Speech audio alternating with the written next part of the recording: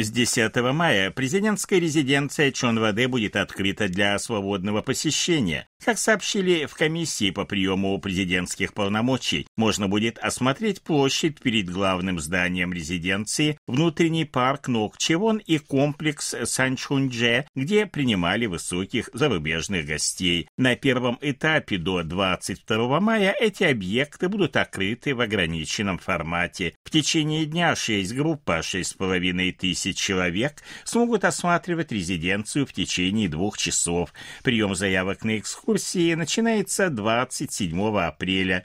Внутренние помещения резиденции Чонваде можно будет осмотреть только после того, как оттуда вывезут документы и демонтируют специальное оборудование. В каком формате резиденцию можно будет посещать после 22 мая, пока не решено.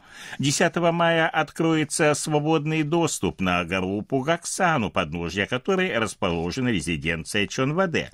Избранный президент Юн Цу Гёль начнет работать во временном офисе на пятом этаже здания Минобороны в муниципальном округе Йонсангу, куда он решил перевести свою администрацию. Это связано с затянувшейся подготовкой его офиса на втором этаже.